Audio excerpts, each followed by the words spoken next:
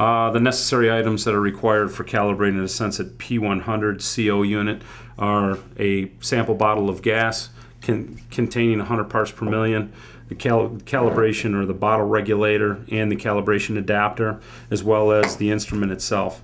Uh, the procedure for the calibration of the P100 CO begins with turning the instrument on and allowing it go through the warm-up cycle uh, with its complete self-test and allow the unit to come out into the working display.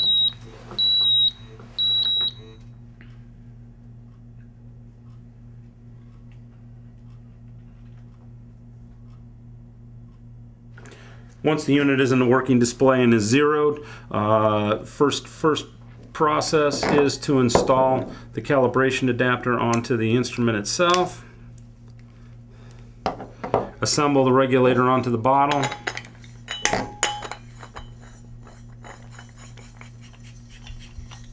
Check the bottle to make sure that there's pressure in the bottle and then begin the begin the flow of gas onto the onto the instrument and push and hold the zero button. Once gas is illuminated on the display, press and release the zero one more time and you'll see Cal CAL flash in the uh, right corner of the display and also with a series of numbers that come up on the display. Uh, what we're waiting for then is, is the instrument to complete the calibration. It will come back into the working display and give a, give a PPM readout on the instrument. If for some reason the calibration doesn't take, uh, we'll get a BAD on the display indicating that the instrument is taking a bad calibration.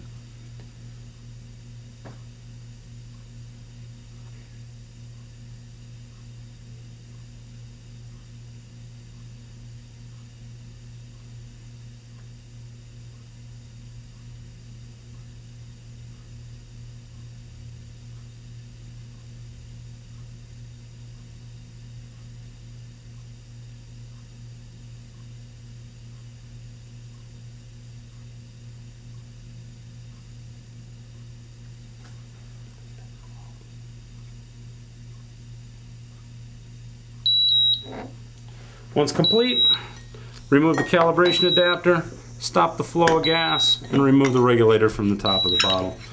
Allow the instrument to clear out, and the calibration is complete.